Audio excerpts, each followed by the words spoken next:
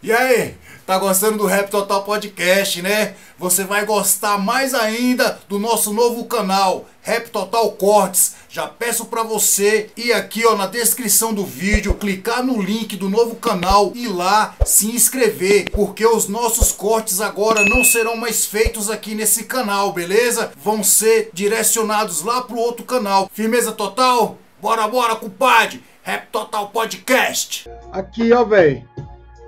Rei, hey, como você reagiu quando ouviu Cadê a morte do DJ Jamaica?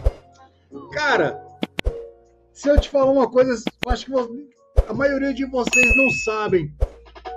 O meu maior sonho, mano, assim, na minha infância, né, mano, na minha juventude, adolescência, eu sempre tive o, Jamaica como referência.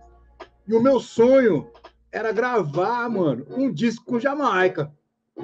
DJ Jamaica Rei, mano. Era o meu sonho. E esse sonho quase se tornou realidade. A gente já, já fazia música, eu fazia música no Alibi, ele fazia música no Cirurgia, eu participava lá, ele participava aqui, né? Mas um disco mesmo, nosso, cara, era o sonho. E esse sonho quase aconteceu, e eu vou te explicar aqui. Esse disco aí, é, que tem essa música Cadê ou a Morte, é o dub remix do DJ Jamaica. Se eu te falar que esse dub remix e o disco A Ocasião Faz o Ladrão era para ser um disco só, um álbum duplo. É, meu irmão. DJ Jamaica e Rei.